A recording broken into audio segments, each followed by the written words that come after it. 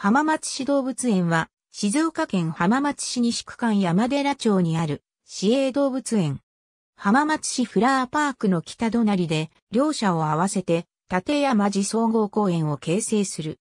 隣接する浜松市フラーパークとは、園内通路同士でつながっており、共通券を購入することで両園を自由に巡ることができる。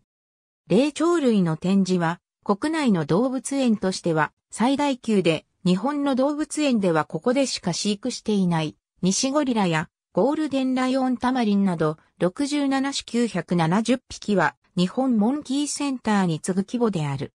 その他にもミニサファリ形式の大放牧場や動物ふれあい広場、昆虫館など教育施設としても立派な動物園である。猛獣はライオンやトラをはじめ黒ヒョウ、雪ヒョウ、ジャガー、狼がおり、地方都市の動物園としては充実しているとされる。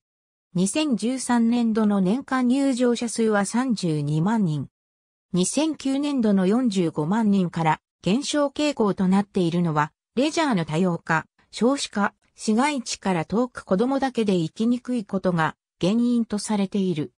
ABC2014 年6月20日付、中日新聞東海本社版16面浜松、演習版 AB、浜松市メールマガジン、3月26日号。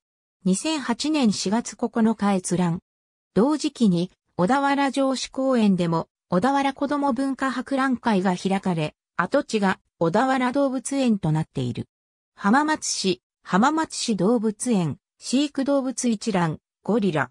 2008年4月9日閲覧。中日新聞、浜松市動物園で人気者のメスゴリラ、大古病死、静岡。